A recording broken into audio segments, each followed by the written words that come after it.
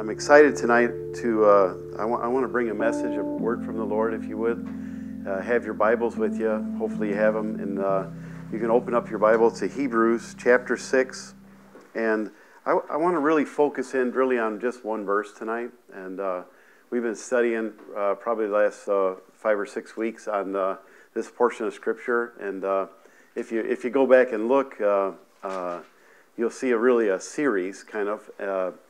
Uh, but we've been really working on our foundation and uh, working on our foundation. We started out with uh, you know salvation, and then we went on through baptism, and and uh, uh, tonight I want to kind of end up, if you would, at, at, a very important verse. And so let's look at Hebrews six and verse three. Okay, you can really read all of those verses if you want, and if you're taking notes it would be good to, to go back and reread that the Hebrews, the, the sixth chapter and the first couple of verses, first several verses actually, uh, through verse four. But let's look at verse three. It says it says this really powerful thing. We'll all read together. If you have it, I'm going to be reading from the King James version. Uh, you can read from uh, any version you want, but I want to encourage you to read out loud with me as I read, and then, and then we'll pray. Uh, so let's read uh, Hebrews 6 and verse 3 only, okay? And you ready? On the count of three. One, two, three, go. And this will we do if God permit. Let's pray. Lord, I just pray right now that you would open up our hearts, Lord, our minds, our eyes, and our ears, God, that we might see, hear, know, and understand something new from the Word of God today. In Jesus' name, amen. Amen. Uh, you know, I, have read that verse, uh, that little verse there, uh, many times, and uh, uh if, if you, you may have uh, actually, uh, when, while you were reading it, I heard some of you say it. We seem to put on the end of the word permit an S, if God permits. But it's, it, it only says if God permit. Okay, and I, I just thought it was interesting, and we'll talk just a little bit about that as we, as we move on. But I noticed in the, in the first few verses, we didn't read all the verses tonight, but uh, uh, I almost want to go back just for a second to verse 1, and I want to really focus on the word perfection for just a moment. Uh, because most of us uh, are looking for perfection, right? In our mind, anyways. We're looking for the perfect relationship, we're looking for the perfect uh, son or daughter, we're looking for the perfect job, we're looking for the perfect place to live. We're looking for the perfect boat, the perfect car, the perfect motorcycle, the perfect lawn cutting job. Okay? I don't know what it is that we're looking for, but it seems like we're always looking for perfection. Uh, and and I, I find it interesting because the word perfection really is something that maybe I will never ever achieve in my own life. Okay? I, I, I, I can want to be perfect. I can want to think perfect thoughts. I can want to be the perfect Christian.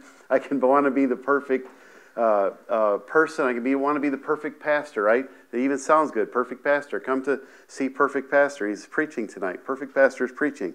I mean, we could fill a church just with that that saying right there. But but the work of the gospel, right?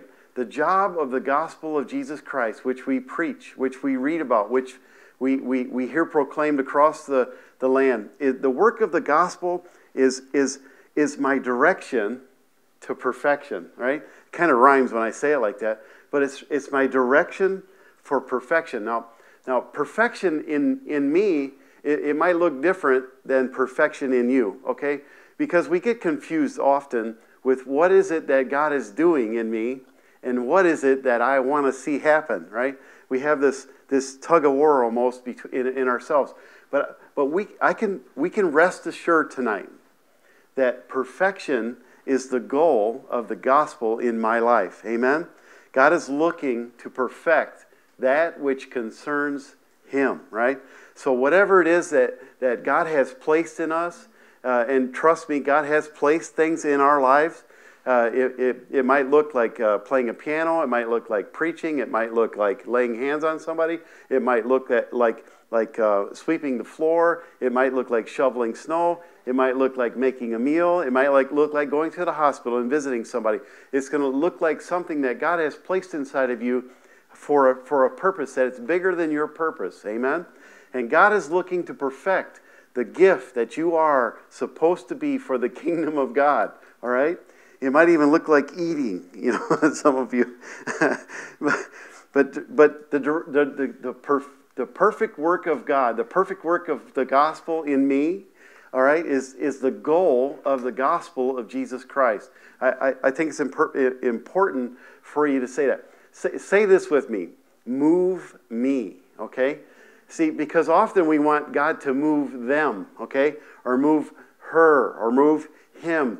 But, but, but, but the goal of Jesus is to move me, amen? Because I get so set in my ways. Maybe you're not like me. Maybe you're not set in your ways. Uh, I'm old enough to know to, to know better about things and young enough to do something about it, but at the same time, am I willing to let God, let Jesus, let, let Jesus in me move me from where I am today to where I need to be for the kingdom of God's sake? Amen? I need to be willing to move on to perfection. Amen? I, I think it's important to, to, to understand that. I want to look at 1 Corinthians 6, uh, verse 11. It says, uh, uh, and some of you, um, it talk, it's speaking about, there's a list actually, if you go up uh, uh, 10, 9, I think, into 8 uh, of that chapter, 1 Corinthians 6, you'll see uh, uh, a list of things that we used to be, or used to do, or used to be a part of, okay? And then we got saved. it's interesting that, that uh, there's, there's almost a shift that happens when I get saved. And yet, my, my flesh or who I used to be still haunts me, okay? Still seems to be tugging at me. And, and you know, if I liked pizza before I got saved, I still like pizza. if, I, if I like, you know, and, and we can go down the list. Um, I just give you a little brief list there, one thing. But, but often we get saved and we, we expect to, to, to change. And sometimes we, we have a tendency or a, a willingness to go back and be a part of things that we once were. Amen? Uh, but, but, and it says, and so that's why it says in, in 6 verse 11, it says, and of such were some of you. Mm. Of such were some of you. See, I was a sinner, but then I got saved and I became a saint, right? I, I once was lost, but now I am found. And the work of the gospel has begun. And then it says something really powerful. It, uses this word, uh, but ye are washed, right? We've been washed in the blood of Jesus Christ. I got saved. And then it says, but ye are sanctified. And, and sanctified is, is, a, is, is a term used, it's called, it's called setting apart, right? Uh, God, God has called you, he has, he has washed you, all right? And He set you apart, He set you aside uh, for, for the work of the, of the kingdom. Amen? Not, not for my work. I mean, I get up and work every day. Most of us get up and go to work every day. Most of us get up and do something every day. But, but we have been set apart. To poke your neighbor and say, Yeah, you, you, even you have been set apart. Because you've been set apart for a purpose, for a purpose, for a purpose. Uh, and then he says, But ye are justified. I, I love the, the, the buts because it's often, in, in, when you look at the but in, in the scripture there, it says, I, I, I, I might have a problem, but, right? I might have had something, but, and, and, and most of us, uh, are, are, are uh, had something in our life but Jesus, right? Because of Jesus, right? I, I have been sanctified. Because of him, I have been justified. In, uh, in the name of Jesus, right? Uh, and then it says, in the last part of that verse, it says, by the Spirit of God. See, the Spirit of God is important. I've been set apart. And then justified means I've been, I've been uh, made right. Okay, I've been, my, my standing with God has been made right. I've been justified. Okay? And then it says, by the Spirit. And so I, I for us to remember that, all right, because often we, we have trouble remembering I give you three P's, okay? Uh, position. God has positioned you, all right? He has uh, put you in a place, amen? A place. I'm in right standing with God.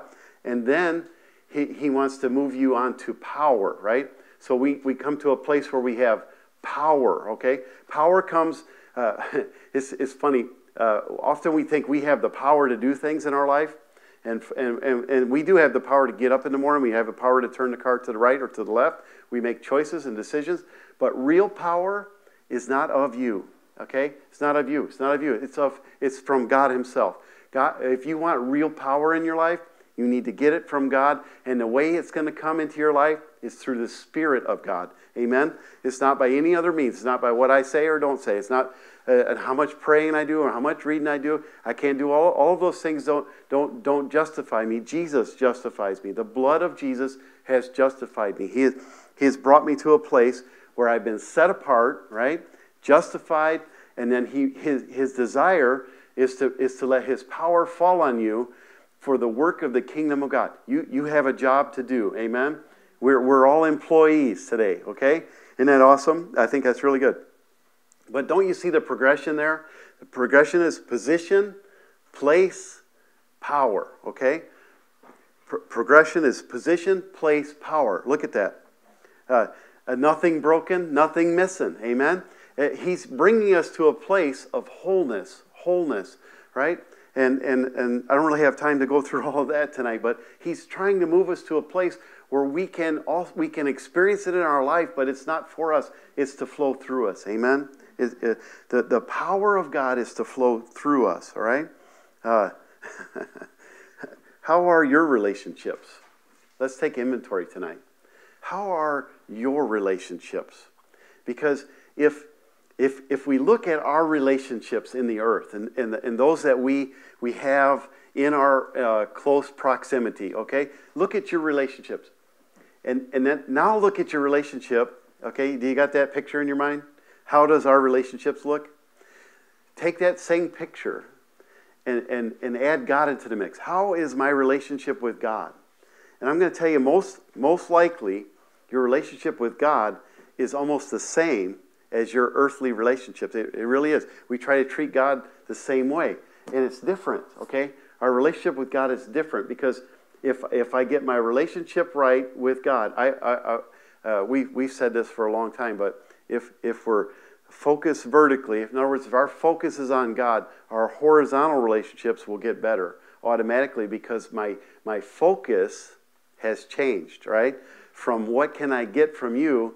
See, and, it, and often we think this way. I, I said it that way on purpose because often we, we say, What can I get from you? That's my focus, right? And then I take that focus and I put on God and I go, What can I get from you? And that's not what it's all about, all right? Because we're, we are to receive from Him, but then we are to, What can I give to you, right? And so if I get that, that relationship right, then, then I'm not asking for things from others. I'm wanting to give what I have already received from my Heavenly Father. Amen.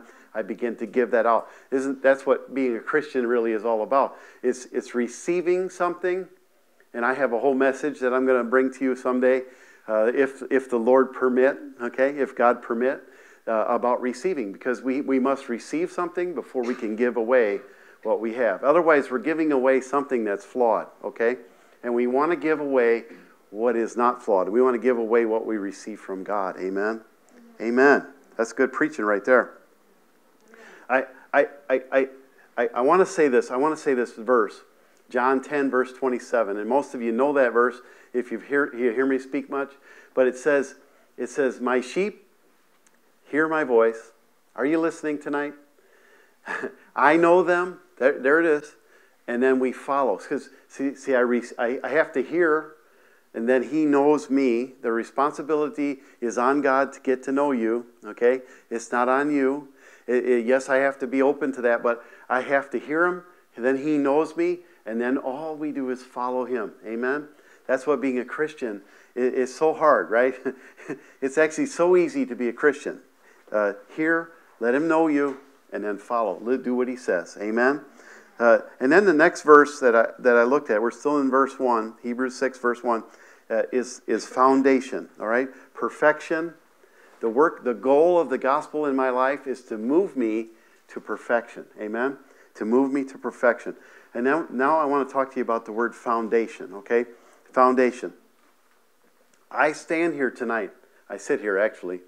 I sit here on a, on a, on a foundation that was laid by the apostles and by Jesus Christ Himself. Amen? I don't, I don't sit here or stand here out of place or out of order tonight. I sit here uh, on, and I rest upon the foundation that was laid before I was even born. Amen? Uh, Jesus has, has, has always brought us to a place. Jesus is the chief cornerstone, right? He's the chief cornerstone. If I want to if I want whatever I need in my life, I should look to Him for it. He's the source of, of all that I need. Amen? I was think, think, think about this. When I was a sinner, right, the Bible says that we were sinking in miry clay. We had no foundation. We, we, we, needed, we, we needed a Savior. We needed, we needed someone to forgive me, someone to shed their blood for me, someone to save me, right? We need a Savior. But I was sinking in, I had in hopelessness. I had no hope in the world. Ephesians says I have no hope in the world. I was without God, right? But, but I come to a place where I, I now have God, eh, not, not just a God. I, I have the big G God, right? The, the big G God, the one that can supply all my needs, the one that speaks worlds into existence, the one that sends his presence, right? When we when we worship him in the shower, in the car, wherever it is we go, anytime that my my I would I might even glance at him, I can feel his presence. Amen. And his presence comes to create in me something, something new. Amen. Something good. I was sinking, I was hopeless, and I had no foundation. Ephesians, Ephesians uh, 2, verse 20 and 22, it says, and, and we are built upon the foundation of the apostles and prophets, Jesus Christ being the chief cornerstone. And then I love this verse, verse 21. It says, Ephesians 2 20, 21 through 20, 20 21, 22. Okay, three verses. Uh, but it says in verse 21 In whom all the building fitly framed together groweth unto an holy temple of the Lord. I, I, I love the word fitly. Okay, fitly, F I T L Y. Okay, it's a, it's a weird word, but what it is, if, if, you, if you look at your life as, a, as, as you're a rock, right? You're a stone. Uh, uh, uh, Jesus has chiseled away. Fitly means chiseled away, shaped right, molded, and set into place perfectly. The builder does the work and sets the stone in its proper place for, for, uh, to make a building, right?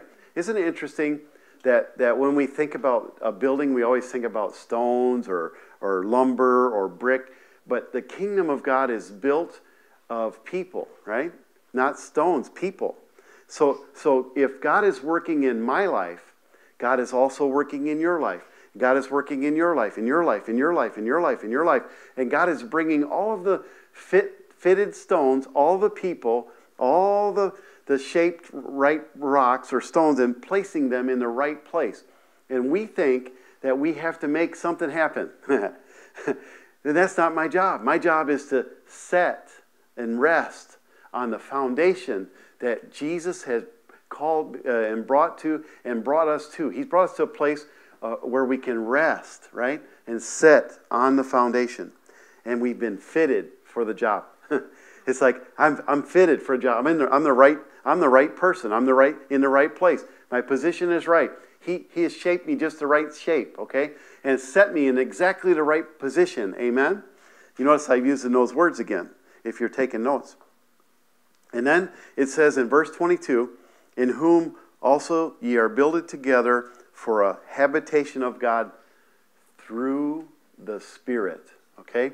through the Spirit. The Spirit is working. The Spirit is working. The Spirit is working. He's, he's working it out for us. And we can understand that. A habitation for God.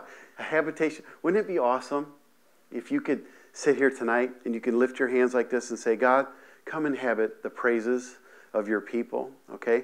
And it might be one person. You might be in a, in a dark room all by yourself, but, but the Spirit of God is going to come, all right? He's going to come and be a part of what He's already begun in your life. Amen? He's moving you. He's moving you. He's moving. The direction of the gospel is always towards perfection. It may not feel good when you get a chip chip off the chip chipped off your shoulder, okay? Or you might get you might get uh, you might lose some relationship somewhere along the line. But God is working. God is working. God is working. Amen. Amen. Fitly, fitly, fitly. Hmm. I, I love the thought that God is working on all of us at the same time. Isn't that powerful? He's working on all of us. He's not, he's not only working on me. Oh, I got to go go see Pastor Everett because you know God's really working in his life. No, but God is working in all of our lives simultaneously. God is bigger than how I think. God is bigger than, than what I think He is. He's, he's better than, than who I think He is, okay? Uh, isn't that awesome? If, if, if, it was, if God was subject to my thinking, boy, we'd be in trouble. Amen? Fitly, chosen, set apart, shaped just right. Hmm. And all of us at the same time. I think that's really good. can, can, you know, turn, turn your neighbor, just say this. Say, God's really got his work cut out for him and you. he's got a lot of work to do. you know, he's got a lot of work to do. Come on. maybe, maybe you turn to the other neighbor and say, man, that's a lot of work. you know, it's a lot of work. Isn't it a great revelation, though, to know, to know that, that we are all being built up, right? The church is being built. Amen. The church is being built by God Himself. I think it's a powerful thought when you think about that. Uh, let, let, let me talk to you just for a moment about the, about the gospel, okay? Gospel. It says, uh, uh, preach the truth to all nations, right? To, to all people and in all places. in me first, though. Amen? Let the truth come into my life first. Amen? Let it, let it come and be a part of me so that I can give it away not to have it. Because, see, we, we, we often want truth in our own life. We want, we want something that I can have. But, but the gospel is, is, yes, it's for me, but it's really best when it's given away. Amen? As a matter of fact, that's the, the, the, I think, the heartbeat of Jesus Christ. When he was standing at Matthew 28, he said, he said, Go ye therefore into all the world, preach and teach, and, and just teach them everything I've told you, right? And all that I've said to you. Uh, and, and, often in our own life, isn't it, isn't it powerful to think that, that, that the work that He's begun in me has, has only begun in me? And, and there's much, much more work that needs to be done in me until I can not think a wrong thought, not say a wrong word, not be a wrong person, but I can always be Christ, always be Jesus in every situation, in every place I go. it's, it's so it's so contrary to human nature. Think about this, right? it's not about what's best for me, it's about what's best for Him. Amen? It's contrary to what I think about, it's contrary to, to what I, I want to do. And He says, teaching, right? he says something really comfort, comforting in Matthew 28 and verse 20. At the, towards the end, he says, I am with you always I'm always with you. Jesus is always with me. Amen? Isn't it powerful when, just to say that? He's with me. Jesus is with me. Right? He's with me even unto the end of the earth. Amen? Uh, teach everybody that we are standing on a foundation, right? We're standing on a foundation. And we're already on the foundation. Amen? We're already there. I, I, my, my dad used to say this a long, long time ago. He would say, practice what you preach. Right? Practice what you preach. Don't preach what you hope to be. Because that's what we do. We say, you ought to do, and maybe, maybe you don't know how to do this, but I think most of us can point out the fault in someone else really quickly and say, oh, you ought to be doing this, right? That's not preaching. Mm-mm. See, practicing what I preach is letting Jesus work in me first and then beginning to speak. Not, not, not, not in, not in, uh, I'm not, I'm not going to uh, point down or, or look down my nose at you. I'm going to love you with the love of Christ that I have experienced in my, my life. Because you know what? I have just as many faults, probably more faults than you have. Okay? And God has been gracious and God has been merciful to me. And God has brought me a mighty long way. Amen. And He's going to take me a long way. But don't practice, Pastor Everett, don't practice what you don't don't don't don't preach what you hope to be. Practice what you're preaching. Amen. Be practicing it all along. I say practicing because I haven't made perfection yet. Okay? I'm still practicing to preach. Amen. I'm still practicing to preach. That's a powerful thought right there. I, I, I said all of that because I wanted to lay a little bit of a foundation tonight. But I, I, I want to say this to you. I want, I want to say this. If God permit, if God permit, I just want to preach to you just for a moment on, on, on if God permit. I, I, I can feel the presence of God really strong right now. Okay? Just going to tell you right now. God is speaking to somebody. Do, do we need God's permission? Do we need God's permission? Can I sit here tonight and preach the Word of God without God's permission? Hmm. Not effectively. No. I can talk, but I'm going to tell you right now we must get to a place where we understand our position and we, we, we must have His permission. Amen.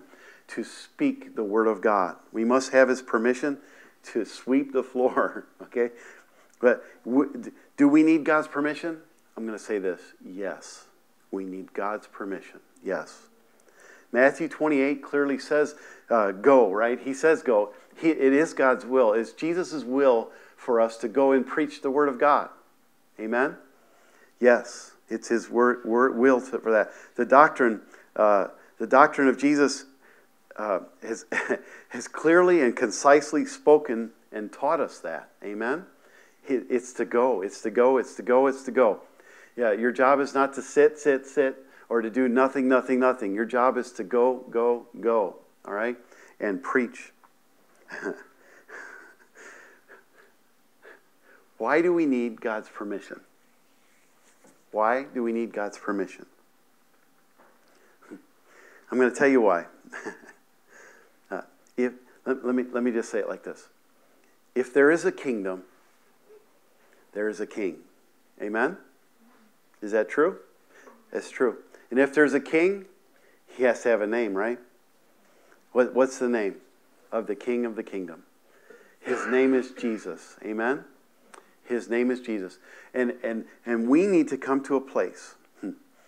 If, if, if, I just want to say this right. If I was going to build a building, if I was going to build a building and I was going to go out and I was going to rent a big backhoe and a, and a bulldozer and I was going to start to clear the land and I was going to start to lay a foundation and I was going to build whatever it is we're going to build, a skyscraper, doesn't matter. I couldn't build that building unless I get a permit, right? Somebody has to agree to the plan. Somebody has to agree to the plan. And, and I'm going to tell you that Jesus is not building a building made of stone and mortar, brick and mortar. He's building it with people. And He has a plan that I don't understand, okay? Is it okay to say that I don't understand the plan that God has in my life? And it's true, we don't. We don't understand it because we only understand what we want to understand. We only think the way we want to think. We only want to do what we think we want to do, right? But, G- but Jesus, but God Himself is going to permit us to do what is according to His plan and His purpose for, for His glory, for His honor. That's what, that's what being a Christian is all about. Do I need a permit? Do I need His permission? And I'm going to say, yes, yes, you do. Right? I, I, I love this story in Acts, Acts 22, verse 7 through 10. Paul is on his way. His name was Saul because his name wasn't changed to Paul till after this encounter. But Saul was on his way to persecute the church. He was on his way to do the religious thing in that day. He was justified in his religion, okay? But but he was on his way and he was met by a bright light one day that shone down and, and so bright that he fell to the ground. And, he, and Paul said he asked two questions, right? Who are you? Who are you, Lord? And what do you want me to do? I want your permission. I don't know who you are, but, but you're obviously God. you're obviously greater than me, right? And what do you want me to do? Those two questions. He had an encounter with God, and then he said, I want your permission. And then there, the voice said, Go, go to the next town. Somebody's going to come pray for you. Your eyes are going to be open. And then you're going to go do whatever it is I tell you to do from then on. Wouldn't, wouldn't it be powerful if, if we could be like like Saul changed to Paul because I was a I was I was a sinner, but now I'm a saint. Right? I, I was lost, but now I'm found. I didn't see. I was blind, but now I see. And I want to know what it is that you want me to do. What have you called me to do? What have you brought me all this way to do? Why did you bring me to a living room, set me on a stool in front of a camera, and ask me to speak? What, what are you doing, God? And I'm going to tell you right now, if we'll begin to look uh, in, in, into the eyes, begin to look into the eyes and receive direction from God, we will find ourselves permitted to do the work that He has called us to do. I am following Jesus. Amen? I'm following Jesus. I, I, think it's, I think it's really powerful. Who are you, Lord? And what do you want me to do? I, I think it's two really good questions. Who are you, Lord? And what do you want me to do? Maybe, maybe we should just stop there for a second. Who, are you, Lord? Who are you, Lord? He's not who you think he is. Come on. He's bigger than you. He's greater than you. He's the Alpha and the Omega. He's the beginning and the end. He's the one that thought about you before the foundation of the world. He's the one that loves you more than life itself. He's the one that gave himself for you. Amen. He's the one that who, who loves you. We talked about last week. All of eternity. My, my love, my love for you will last eternity, he says. He says, I'm gonna, I've got you. Take my hand. I got you. I got you. I got you. I'm gonna take you to a place, right? I'm gonna take you to a place that I have not seen, ear has not heard, the things that are that I have prepared for those that love me, right? But we have to come to a place where we're willing to give up our life. We're willing to say, Who are you? What do you want me to do? I need your permission in my life, God. I need your permission in my life. I just want to wrap it up really quick here. I want to wrap it up. And this is my first and only close tonight, okay? I promise. I, won't close for five times. I did that on Sunday, actually. I closed five times on, Sunday. On Sunday, I just couldn't stop talking. But, but I couldn't stop talking because God was moving. Amen? And if God is going to move, I'll speak. If God is going to move, I'll sing. If God is going to move, I'll worship Him. Okay? I'm going to do whatever it is He wants me to do. Amen? Who are you, Lord? And what would you have me to do? let me just give you one more word permission slip. Permission slip. You know, when I was, when I was growing up, and I was in school, I was in elementary school, they, they would, uh, uh, I would say, uh, Can I go to the bathroom? And, you know, they would give you a, a, a stick or a permission slip. Or a lot of times they would give us a note, you know, and we would walk out into the hallway on our way to the bathroom. Yeah, really. Yeah, right. Okay.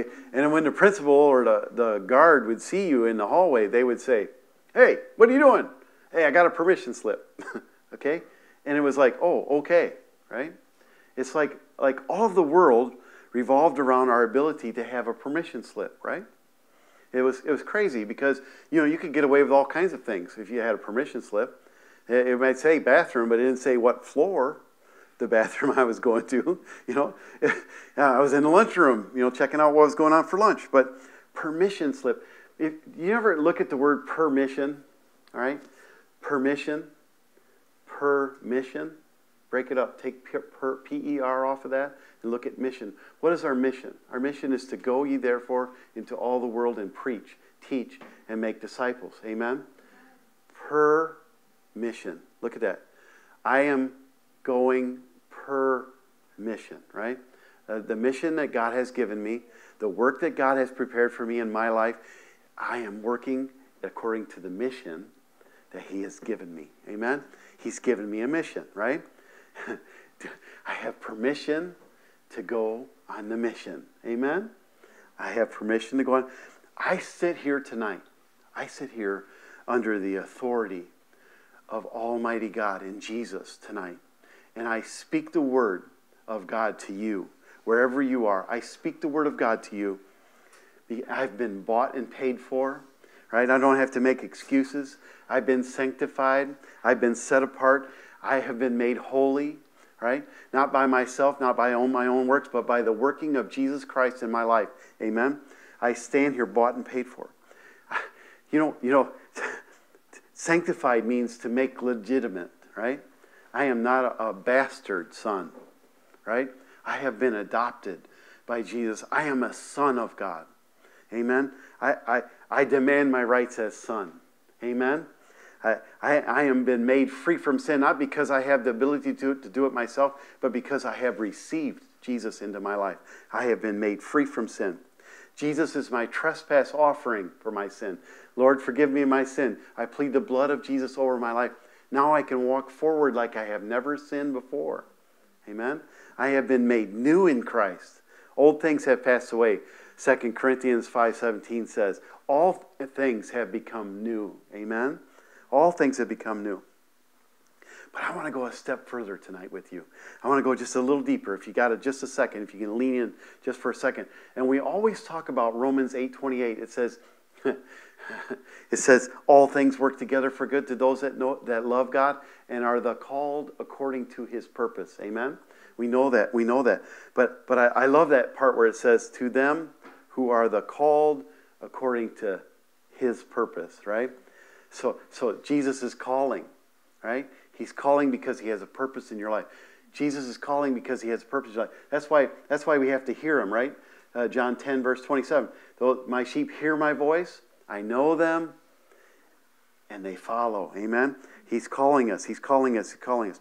And then it says, He did foreknow. I, I love this because foreknow is a word that says, Before I was even born, before I was even looking for God, before I even knew to look for God, He was already looking at me. Isn't that powerful? He was already looking at me before I even knew to look for him. He was looking, he was looking. I, I love the fact that, that God is a planner because God plans the intricate details of our life out, and I can prove it to you because He knows the number of hairs you have on your head. And that's so powerful when you think about that. Only the beloved person, right? It, it, it's, it'd be weird if I walked up to you tonight not knowing who you are and I began to touch your hair on your head, right? It'd be weird. But, but it's not weird that God would touch the hair on your head because how's he going to count all the hairs in your head if he doesn't run his fingers through it? Think about that. He's intimately involved with every intricate detail of your life, and you can trust him. Amen? He loves you, he loves you, he loves you. You can trust him. Eh, foreknow, and then he says he predestined, right? In other words, he prepared a way for me and to bring me to a place, amen? To the perfect place, the perfect position, right? So that his his kingdom can be built through my life, amen? He, he's longing to do something. He's got a plan. Amen? He has a plan. He, he knew it before I was born, before I even looked for him. He had a plan. Um, I've been predestined to this, to this moment, to this, this, this exact moment, right? And then it says a word very powerful. It says conformed. In other words, he's going to mold me. He's going to break me. He's going to, he's going to mess with me a little bit. He's going to make me to, uh, be conformed to his image. Amen? Not my image, not my vision of what I think he's doing, but his image. It's a confirmation. Come on. If, if God is working in your life, He's molding, He's conforming, He's changing you. Amen. It's confirmation that He's working. He's working. Amen. Uh, and moreover, it says, I love that word moreover because I already said all of those neat little things, but moreover, I'm going to say it again. it's like Paul repeating himself. I don't know if you've ever been married before, but often you get words repeated to you. Uh, those people that he did predestine, those people that he did predestinate to be, to be in a certain place, them he also called, right? He's calling, he's calling, he's calling. Uh, and then them he also justified. Jesus, the blood of Jesus justifies me. I stand here in right standing with God because I've been justified. Amen? and them he also glorifies. Amen? It's only as if God is taking us and he's working in it, he's working on us. He's working on us. He's, he's calling us. He's calling us. He's predestined us. He's predestined us. And then, he, and then he's, he's glorifying us, right? He's justifying us, and then he glorifies us as if he sets us up on a pedestal. Doesn't it sound like a fitly stone being placed in the right position? Doesn't that what that sounds like? Amen? It's, we're being placed in the right position for his glory. For his glory. We've been brought all this way so that he can do only what he could do. Through all of those things, he brought us to this place, to this moment, to make a choice, to rest on the foundation. Amen. To rest on Jesus. And then it says this really powerful thing it says, if God be for us, who can be against us? if I have the permission of God Almighty to sit in this chair, who can be against me? If God be for me, who can be against me? I'm going to tell you the answer nobody, nothing, no how. I sit here tonight with permission. Come on. I sit here with permission. See, I don't need your permission. I have God's permission. I don't need to get a permit from you because I got a permit from Him. He's above all. Amen? Amen? I, I wrote this down. I, I, I just want, uh, maybe if you're taking a note or not, I wrote this down. I don't sit here tonight. I don't have a lack of regret, okay? But I have an identity.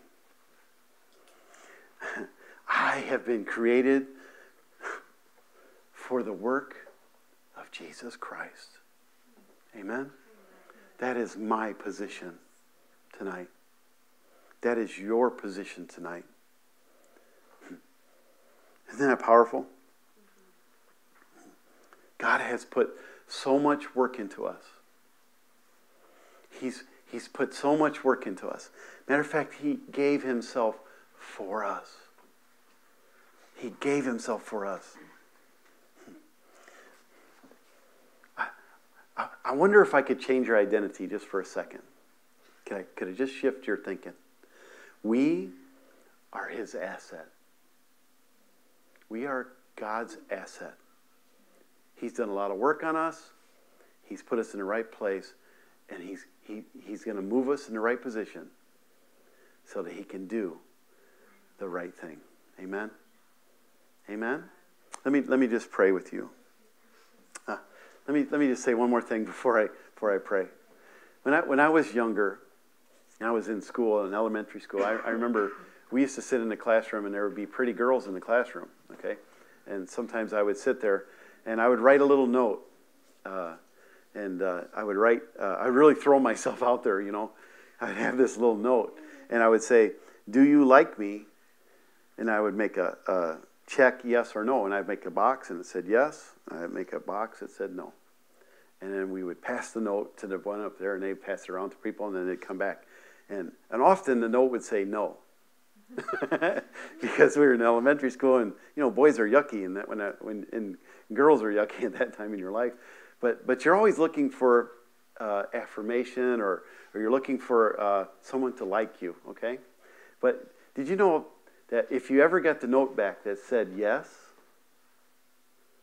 what would happen in my life i'll tell you what happened in my life if i would ever get the note back that said yes well my posture would change I would begin to act different because I know that I'm liked, right? Isn't the same thing true as a Christian? If we know the answer is yes, if we know that Jesus loves us, shouldn't our posture change? Shouldn't we know that we have permission? Amen? Shouldn't we know that we have a work in our, to do in our life? Shouldn't we know doesn't it just change everything? The box is checked yes tonight. It's yes. The answer is yes. Amen? Amen? Let me just pray. Lord, I just pray right now that the, as the word has gone forth, Lord, as it flowed through me, God, I pray that your will would be done.